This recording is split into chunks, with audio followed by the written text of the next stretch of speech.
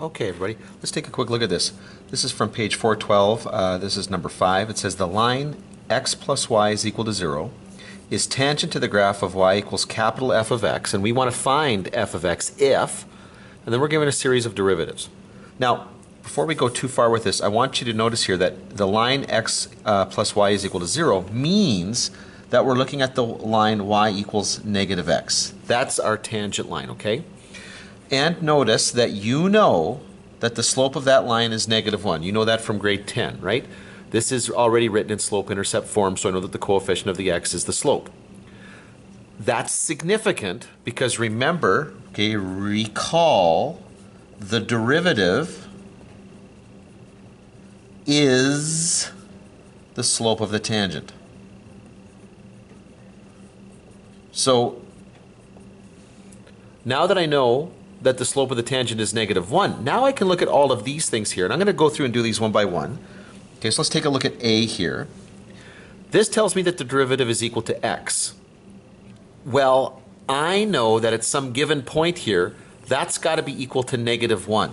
Okay, so I need the derivative here, which the question tells me is equal to x. I need that to be equal to negative 1. Okay, so where does x equal negative 1? Well, where x is equal to negative 1. Okay, so now all of a sudden, immediately I have the x coordinate. Okay, this is the x coordinate along the function where the derivative goes to negative 1. It worked out really, really nicely for me. Now, if that's true, bearing in mind that this is the line tangent, okay, to the curve at that point, that means that this line intersects the function at that point. So if x is equal to negative 1, therefore the y coordinate I'm going to look for here is going to be the negative of negative 1, okay, or positive 1. In other words, what's going on here is the point of intersection here is going to be the point negative 1 comma 1.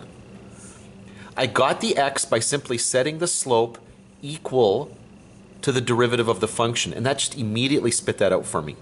And then I get the y coordinate by going into the equation of the tangent.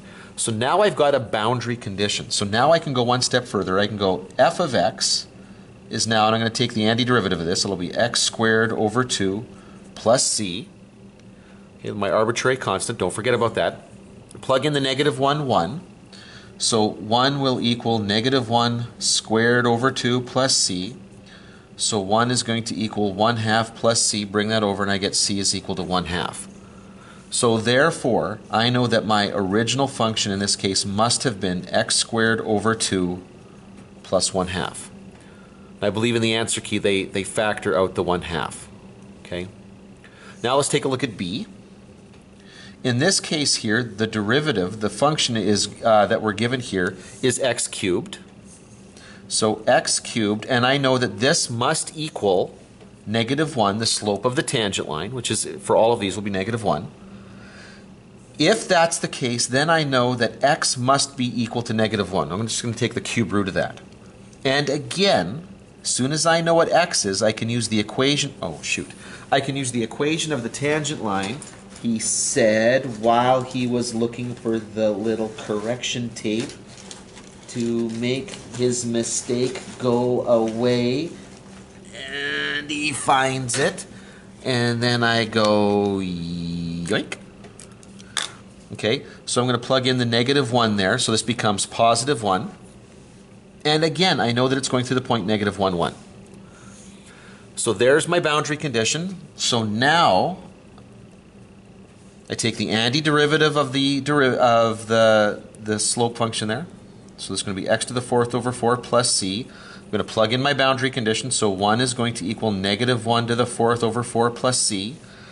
That's just 1 quarter. Bring it over and I will get that c is equal to 3 quarters. So therefore my function is going to be x to the fourth over 4 plus 3 quarters. and then let's look at c. In c, we're told that the derivative is going to equal negative x to the fifth. I know that the derivative should equal the slope of the tangent, which I know is negative 1. So I'm going to solve this for x. Now, this is the first case here where we're going to get that x is equal to a positive value. I know that when that goes into my, uh, the equation of that tangent, oh, I did it again. Why am I doing that? That's got to be 1. And so I know that my y coordinate is negative 1. So now my point of intersection or my boundary condition is the point 1 comma negative 1. I will take the antiderivative, and so that's going to be negative x to the sixth over 6 plus c. I will plug in my boundary condition to get negative 1 is equal to negative 1 to the sixth over 6 plus c. I mean, that works out really quite nicely. Uh, this will end up being negative 5 sixths equal to c. So therefore, f of x is going to be negative x to the sixth over sixth minus 5 sixths. And then lastly, we're going to get d, and d says the derivative of the function is equal to negative 1. Well, now that's an interesting result because what I've been doing in the, the, previous few steps is immediately setting that equal to the slope of the tangent, which is negative 1. So, okay, this is a little weird. It almost falls into my lap too quickly. If I take the antiderivative of this, I'm going to get y is equal to negative x plus c. This is the equation of my tangent line. But the thing is, I already know the equation of the tangent line. Shoot, and I shouldn't have said that. Sorry, that should have been f of x. Okay. I already know that uh, the equation of that tangent line was negative x here, so without uh, a phase shift. So basically, you were given the answer to this one right away. It was that function right there where c was equal to 0. So therefore, I can say right away that y is equal to, or shoot, I did it again. Why am I doing that? I'm so sorry. Not y, f of x is simply equal to negative x. When you take the derivative of that, you get the negative 1, the slope that we're looking for. So in this case, it's uh, just because the, the derivative is a constant, I know that I've got a linear function. And if I've been given the equation of the tangent, well, that's, that is the function that I'm looking at. Okay, it's as simple as that. I hope that helps.